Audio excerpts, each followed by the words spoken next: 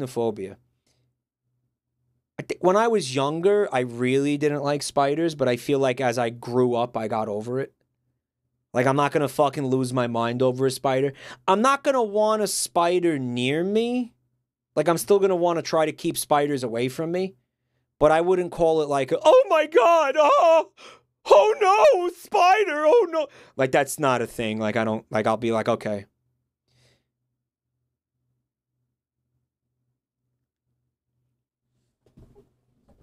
I won't lose my fucking mind. You know, and nowadays, like if I cocksucker! I'm afraid of fucking spilling water all over my fucking keyboard.